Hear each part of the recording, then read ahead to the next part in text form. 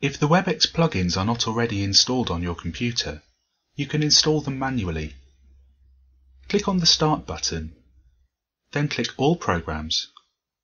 Select Microsoft System Center 2012, then click Software Center.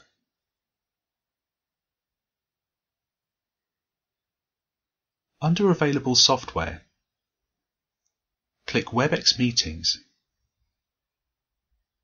and WebEx Productivity Tools. Then click Install Selected.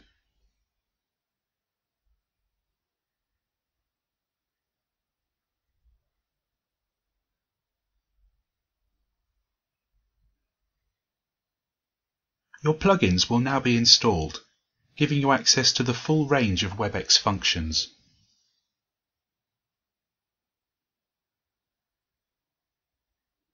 To check whether your plugins are currently installed, select Installed Software and look for the WebEx plugins in the list.